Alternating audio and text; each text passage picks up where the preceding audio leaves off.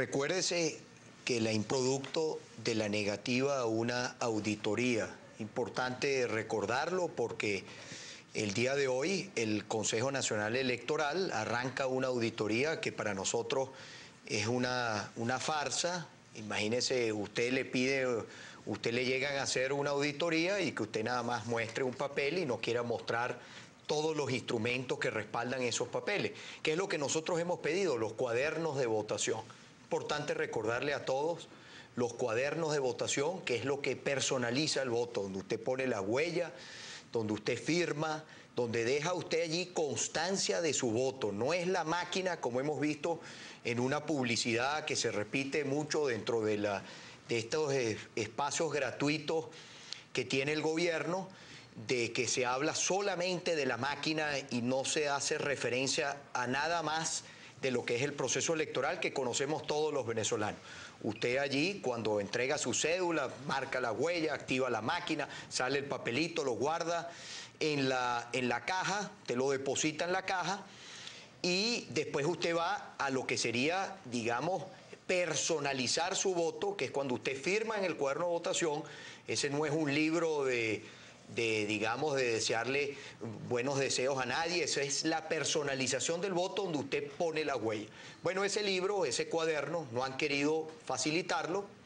Eso es lo que nosotros hemos estado pidiendo desde el mismo 14 de abril en la noche. El día de hoy se arranca un proceso de auditoría. Es importante recordar que no permite que se revise ese libro, que allí no quieren que nosotros revisemos los cuadernos de votación. Producto de esa situación, yo le anuncié a todo nuestro pueblo que nosotros íbamos al Tribunal Supremo a agotar la institucionalidad. Quiero aprovechar para informar, eh, Leopoldo, que el día de mañana va a ser consignado otro recurso, otro recurso que contempla cada una de las irregularidades que el comando Simón Bolívar ha recibido, bien por las denuncias, eh, vía eh, a través de los... ¿Puede dar un ejemplo?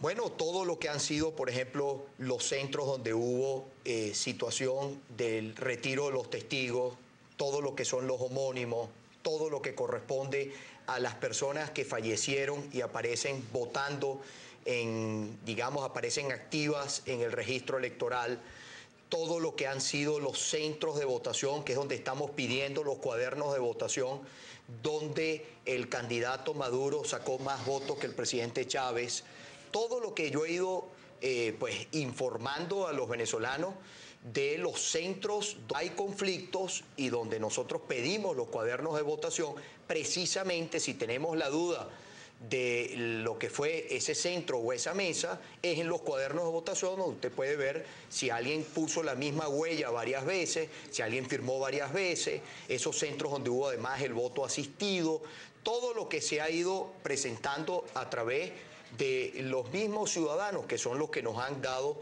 todas esas pruebas. Bueno, el día, de mañana, el día de mañana continúa, usted me pregunta, eh, eh, después de la impugnación, ¿qué? Mañana se va a consignar otro escrito, otra impugnación y después corresponderá al Tribunal Supremo de Justicia.